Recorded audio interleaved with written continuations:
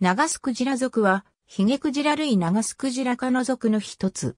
極地や一部の付属海などを除くほぼ世界中の海に生息する。化石記録では、中心予中期のものに、長スクジラ属に属す可能性のあるものが知られているが、中心予後期以降のものが確実な記録とされる。また、分子記録からは、中心予前期に、コククジラやザトウクジラを含めた4つの大グループの分岐が起きている。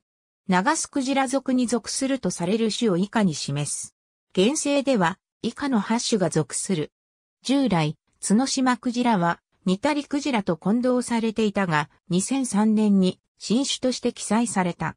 また、カツオクジラもニタリクジラと別種とされた。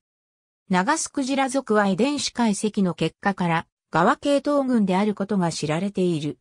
長スクジラ属はその内部にザトウクジラ属を内包し、またコククジラ科も含まれる可能性がある。長スクジラ類はコククジラ、ザトウクジラを含めて4つの系統に分岐しているが、それぞれの系統の分岐の順序は結論が出ていない。これは調査に使用したサイン配列のうち3つが矛盾しているためである。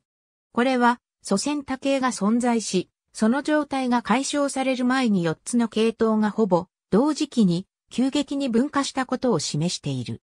分子時計や化石記録などから推定して、これらの分化は約1900万年前、中心予前期バーディガリアンに起きたと推定される。各系統を以下に示す。矛盾する3つのサイン配列が指示する系統。